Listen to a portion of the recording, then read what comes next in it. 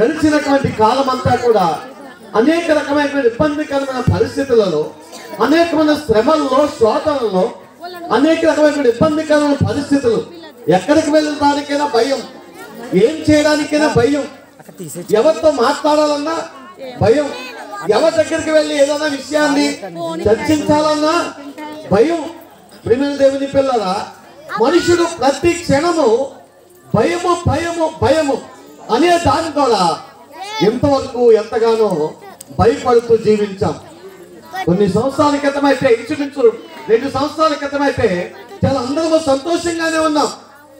సంతోషంగానే ఉన్నాం. టెక్నాలజీలో డెవలప్ అయ్యాం. కుటుంబాల్లో డెవలప్ అయ్యాం. అన్ని విషయాల్లో డెవలప్ అయిన తర్వాత ఇంకా నేను డెవలప్ అయిపోయింది కదా. నాకు ఇంకా ఏ అవసరం లేదనుకున్నప్పుడు జస్ట్ దేవుడు చిన్నగా ఒక ఇబ్బందికరమైన పరిస్థితిని పంపించాడు లోకానికి చిన్నగా చిన్నగానండి చాలామంది చూస్తారా చూసారా? పిల్లలు వాళ్ళకి రెక్కలు బాగా వచ్చిన తర్వాత అన్నీ బాగున్న తర్వాత వాళ్ళు ఏం చేస్తారు అని అంటే ఇంకా మీ తల్లిదండ్రుల పట్ల ఏమంటారంటే మీ అవసరం మాకు లేదు మీ అవసరం మాకు లేదు మేము పెద్దోళం అయిపోయామంటాం.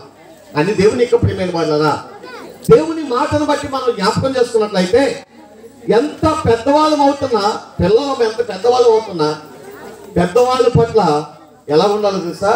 అణిగి ఉండాలి అణిగి ఉండాలి. అలాగే ఈ లోకంలో ప్రతి మానవుడు కూడా ఎంత టెక్నాలజీలో ఎదిగినా ఎంత జ్ఞానములో ఎదిగినా ఆరోగ్యములో ఎదిగినా జ్ఞానములో ఏ విషయాల్లో ఎదిగినప్పటికీ దేవుని దగ్గర ఎలా ఉండాలో తెలుసా? తగ్గించుకుని ఉండాలి. లోపడి ఉండాలి. లోపడి ఉండాలి. నీకు తగ్గించుకుని ఉండాలి. తగ్గించుకోలేకుండా హెచ్చించుకునే పరిస్థితికి వెళ్తే ఏం జరిగింది లోకాలకన్నది రెండు సంవత్సరాలకి మనం చూస్తున్నాం ఎంత భయంకరమైన పరిస్థితి అండి. ఏ ప్రక్కన చూసినా భయమే. ఎవరితో మాట్లాడాలన్నా భయమే. ఎవరింటికి వెళ్ళి పలకరించాలన్నా భయమే. ఎవరన్నా చనిపోయారన్నా పలకరించడానికి కూడా భయమే. ఎవరైనా మంచి మంచి సంతోషకరమైనటువంటి విధి చేసుకున్నారంటే అక్కడికి వెళ్ళడానికి కూడా భయమే. ఎంత భయంకరమైన పరిస్థితి చూడండి. అటువంటి భయంకరమైనటువంటి స్థితి ఈ రోజున ఇంతవరకు లోకము కలిగి ఉంది. ఇంతవరకు మన జీవితాల్లో కలిగి ఉన్నాం. కానీ దేవుని వాక్యములో పరిశుద్ధాత్మ దేవుడు జ్ఞాపకం చేస్తున్న మాట తెలుసా? ఒక చిన్న మాట మీకు జ్ఞాపకం చేసి నేను ముగిస్తాను. ఇర్మియా రాసిన గ్రంథం ఇరవై తొమ్మిదవ అధ్యాయం ప్రియమైన దేవుని పిల్లల పరిశుద్ధ గ్రంథం నుంచి ఒక చిన్న మాట మనం జ్ఞాపకం చేసుకుందాం. అందరూ తీయండి. ఇర్మియా రాసిన గ్రంథం ఇరవై తొమ్మిదవ అధ్యాయం దేవుని వాక్య భాగములు మనం చూసినట్లయితే పదకొండవ వచనం. నేను మిమ్మల్ని గూర్చి గురించి ఉద్దేశించిన సంగతులను నేను ఎరుగుదును. రాబో కాలమందు మీకు నిరీక్షణ కలుగునట్లుగా అవి అవి సమాధానకరమైన ఉద్దేశములే కానీ హానికరమైనవి కావు. ఇదే హోవాకు మీరు నాకు మొరపెట్టి మీరు మీరు నాకు ప్రార్థన మీరు నాకు ప్రార్థన చేయించు వద్దునేమి నేను మీ మనవి ఆలకింతును. దేవునికి మహిమ కలుగును గాక దేవుడు ఈ నూతన సంవత్సరంలో ఈ మొదటి దినాన్ని దేవుడు మనకిస్తున్న ఒక శ్రేష్టమైన వాగ్దానం. ఒక మంచి వాగ్దానం ఏదైనా ఉన్నది అని అంటే పరిశుద్ధాత్మ దేవుడు జ్ఞాపకం చేస్తా అంటున్నాడు. ఇస్రాయేల్ ప్రజలతో దేవుడు మాట్లాడుతుంటున్నాడు ఏమని జ్ఞాపకం చేస్తాడంటే నేను మిమ్మల్ని గురించి ఉద్దేశించిన సంఘటనను నేను ఎరుగుదు నిజమేనండి. గడిచిన రెండు సంవత్సరాల్లో ఎటువంటి ఉద్దేశాలు జరిగాయో అవన్నీ దేవునికి తెలుసు. ఆయనకు తెలియకుండా ఈ లోకంలో ఏది కూడా జరగడానికి ఆస్కారం లేనే లేదు. ఎందుకంటే ఏసయ్య ఒక చక్కటి మాట జ్ఞాపకం చేశాడు. ఏమన్నా తెలుసా? ఒక చిన్న మాట అండి మీకు అందరూ తెలిసిన మాట. మీ తల వెంట్రుకలన్నీ కూడా చెప్పండి. ఏం చేయబడ్డాయంట? ఏమి లెక్కించాడు దేవుడు? తల వెంట్రుకలు లెక్కించాడు. ఎప్పుడైనా నీ తల వెంట్రుకలు ఎప్పుడు లెక్కించుకున్నావా? లేకపోతే ఏ సవరం చేసేవాడు దగ్గర వెళ్ళి. కటింగ్ మేస్టర్ దగ్గరికి వెళ్ళి. అయ్యా నా తలలో ఎన్ని ఎంటుకలు ఉన్నాయి? అన్ని ఒకసారి లెక్కించు అంటే ఏమంటాడు ఆయన? ఏమంటాడండి? ఇది ఎప్పుడో పిచ్చోళ్ళగా ఉన్నాడండి. ఏమన్నాడు చూడండి? ఆయన తలెంటికలంట నేను లెక్కించాలంట. అసలు మనుషులకి ఇది సాధ్యమేనా? నిజమేనండి మనుషులకు సాధ్యమే. సాధ్యము కాదు. మనుషులు ఎవరికీ కూడా లెక్కించడం సాధ్యము కాదు. కానీ దేవుని సన్నిధిలో యేసు ప్రభువాదు నోటి ద్వారా వచ్చిన ఒక శ్రేష్టమైన మాట ఏమిటో తెలుసా? ఇదిగో మీ తల వెంట్రుకలన్నీ కూడా లెక్కించబడి ఉన్నాయి. దేవునికి మహిమ కలుగును కాక కాబట్టి లెక్కించిన దేవుడు మన కొరకు ఏ సంగతులు అయితే జరిగాయో ఆ సంగతులన్నిటిని బట్టి ప్రభు చెప్తున్న మాట ఏంటో తెలుసా? ఆయన జ్ఞాపకం చేస్తున్న మాట ఏంటో తెలుసా? పరిశుద్ధాత్మ ద్వారా ఆయన జ్ఞాపకం చేస్తున్న మాట ఏంటో తెలుసా? నేను మిమ్ములను గుర్చి ఉద్దేశించిన సంగతులను నేను ఎరుగుదును.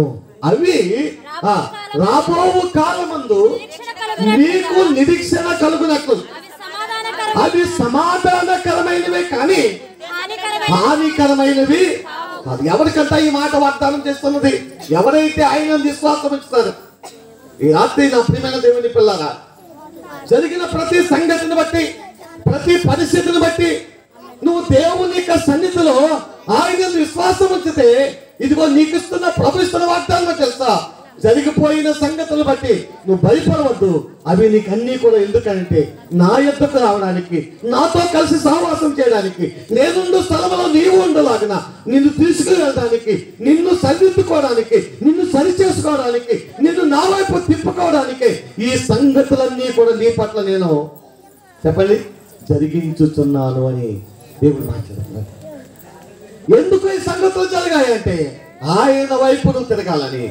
ఆయనతో సహవాసం చేయాలని ఆయనతో కలిసి జీవించాలని దేవుడు ఆశపడుతున్నాడు. అందుకని అంటున్నాడు ఇదిగో ఏమని జ్ఞాపకం చేస్తాడంటే ఆయన జ్ఞాపకం చేస్తున్న మాట ఏమని జ్ఞాపకం చేస్తాడంటే రాబోవు కాలమందు నీకు నిరీక్షణ కలుగునట్లు అవి సమాధానకరమైనవే కానీ హానికరమైనవి కావు.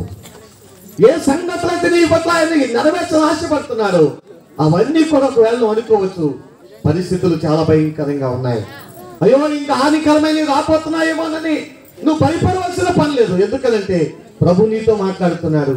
నువ్వు ఆయనకు ప్రార్థన చేస్తే ఆ కింద వచ్చిన అంటాడు కదా ఏమని జ్ఞాపకం చేస్తారు చూడండి. పన్నెండవ వచ్చిన చూసినట్లయితే అంటాడు మీరు నాకు మొదపెట్టుతురేమి మీరు నాకు ప్రార్థన చేయిస్తూ వస్తురేమి నేను మీ మనవి ఆలకింతును. దేవునికే మహిమ కలుగును గాక. ఈ నూతన సంవత్సరములో ఆయనకు మనవి చేస్తే ఆయనకు ప్రార్థన చేస్తే ఆయన నీ మనవి ఆలకిస్తాడు. ఆలకించేటువంటి దేవుడు ఏమని చెప్తున్నాడంటే ఇదిగో నీకు క్షేమకరమైన కార్యాలని నేను జరిగించబోతున్నాను. దేవునికి మహిమ కలుగును గాక. ఈ నూతన సంవత్సరంలో నీ జీవితంలో నీ కుటుంబంలో క్షేమకరమైన కార్యాలు జరగాలి అంటే ఇదిగో నిరీక్షణతో నిరీక్షణతో నిరీక్షణతో విశ్వాసముతో ప్రభు సన్నిధిలో ప్రార్థన పూర్వకంగా నీ జీవితాన్ని ప్రభుకు అప్పగించుకోవాలని అటువంటి శ్రేష్టమైన జీవితాన్ని మనము కలిగి ఈ నూతన సంవత్సరంలో ప్రవేశిస్తూ నూతనమైనటువంటి జీవితాన్ని కలిగి ప్రభువులో వర్ధిల్లాలని అటువంటి గొప్ప కార్యాన్ని దేవుడి మీ కుటుంబాల్లో జరిగించాలని దైవజనుడిగా దేవుడు నాకు ఇచ్చిన మాటను బట్టి జ్ఞాపకం చేస్తూ ఈ నా మాటలను ముగిస్తూ ఉన్నాను. దేవుడు అటువంటి కృప మనందరికీ అనుగ్రహించి నడిపించునుగాక.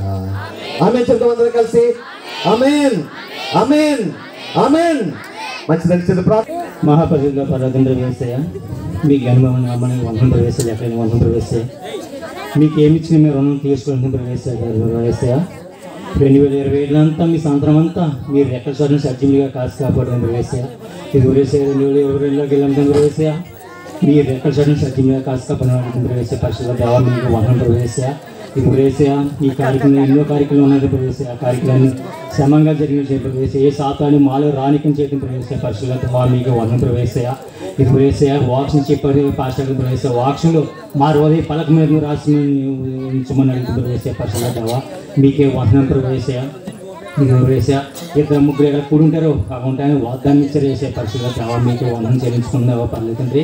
ఇది ప్రవేశ ఇంకా జరగని కూడుకలు అంతా మీ క్షేమంగా జరిగింది వచ్చిన పెళ్ళందరినీ జ్ఞాపం చేసుకో. మా సంఘాన్ని సంఘ పెద్దల్ని సంఘ విశ్వాసం కూడా జ్ఞాపం చేసుకోవడం ప్రవేశ యవనస్తులు కూడా ఉన్నారు. ప్రవేశ యవనస్తులు కూడా రక్షణ లేక ఎంతో మంది ఉన్నారు ప్రవేశ రక్షణ ప్రవేశ ప్రతి బిడ్డ మీ పాదాల దగ్గర చేసుకోమని ప్రవేశ పల్లె తండ్రి వేసే ఇది ప్రవేశ సన్నిస్కులు కార్యక్రమం జరిగిన ప్రవేశ కార్యక్రమం చిన్న